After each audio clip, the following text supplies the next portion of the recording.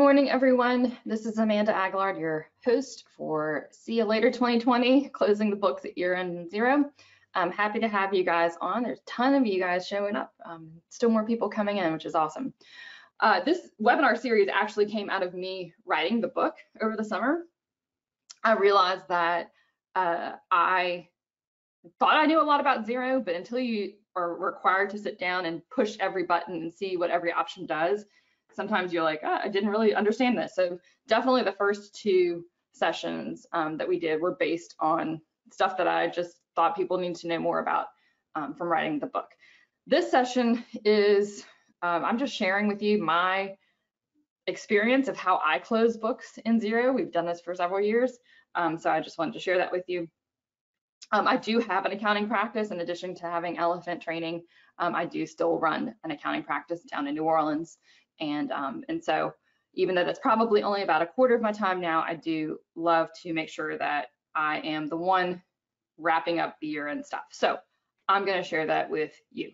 So the plan for today is one thing. It's just for me to share my year end checklist in Xero with you. Everyone has a different way of doing this. Um, if you if you surveyed 10 different um, Xero partners, there'd probably be 10 different checklists and 10 different ways to do this. So this is just how I do it. Um, you should probably adapt it for your clients and your types of clients. We have a lot of sole proprietor professional services type clients. So um, marketing consultants and um, I have a, a, blog writer. I've got um, a bunch of lawyers. So this is not going to fit probably, you know, as is e-commerce companies or construction companies or manufacturing companies or anybody with a lot of inventory, but hopefully it's a good starting spot for you. In the handouts uh, section, you should see my uh, PDF of my list. That's basically what we are going to cover today. Reclass fixed assets under a company's threshold. Again, this is going to be something that um, just it's going to be company by company. A lot of folks are using that $2,500 threshold for fixed assets. Um, for our clients, that's kind of high. Like I have a lot of much smaller clients. Um, so what I generally do is, uh, it depends on client. On the books, I will, uh, my threshold a lot for a lot of them is 500, but then I make sure that the um, that the tax preparer has all the details and they can make the choice of how they want to write them off or depreciate them or whatever. Um, we don't do tax prep here. We just do the bookkeeping and accounting. So, so we want to go ahead and make sure we do this. Um, is anybody using um, the fixed assets module, the, the, the functionality in Xero, fixed assets functionality? Couple people. Um, yeah, I don't, I'll say this. When I started using Xero, it was terrible, and so I never used it. so um, we would keep separate spreadsheets generally, or um, what we do most of the time is write it, write the depreciation to the tax return. Like we just book, book enter it um, in. But I will say I have two or three folks that are like power Xero users and they are all in on depreciation in Xero now, um, using it for fixed assets. Patty Sharp is one of them. I don't think she's on, but I feel like I saw somebody from um, Catching Clouds on here. She's one that is using it. Um, Jay Hillman is using it. So it has gotten a lot better since it was uh, first released. So take a peek at it if you are thinking about maybe doing depreciation in the system. Um, I book true up the prior year tax depreciation. So what we usually do for our folks is that I will um, book a monthly depreciation estimate based on the prior year's tax return. So we'll just divide by 12 and book a, de a depreciation estimate each each period. And then when I get to the end of 2020, I'm going to go back and get the final 2019 tax return for the client and true it up. So for our clients, most of them, we keep the books, uh, the depreciation based on tax. So we'll just, I'll just go up and grab the final tax return, you know, that just probably got prepared two months ago, go put a, uh, an entry in and true it up. Next thing I do is I review prior year journal entries to make new ones. Um, I think probably everybody on here knows how to make a journal entry, but you go into um, accounting, advanced manual journals. And I always look at the prior year and make sure that we do those if we need to. Some of those would be like um, owner expenses to be reimbursed. So if we have um, the, uh, an owner client who has been using personal money and they've just been sitting on receipts, we'll make sure those get in. Uh, we'll make sure same thing with mileage allowances. So um, put those in intercompany transfers. Um, and so reclassing owner's compensation. So if we have Gusto pushing all of our sales, I'm sorry, all of our salaries into one GL line, but we have an S Corp owner, we'll make that reclass so it shows. So we just want to make sure we do those at year end. The other thing we do is we close out prior year draws to retained earnings. So Xero um, doesn't do this automatically.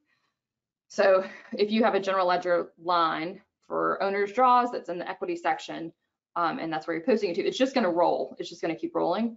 So at the end of the year, I will go back and make sure that I'm closing the prior year's um, draws to retained earnings so that when I run the statements for the tax preparer, they're only seeing the draws for the current year. So it's just one quick little thing um, that makes it much easier for the tax preparer. We also like to um, put out a 12 month income statement.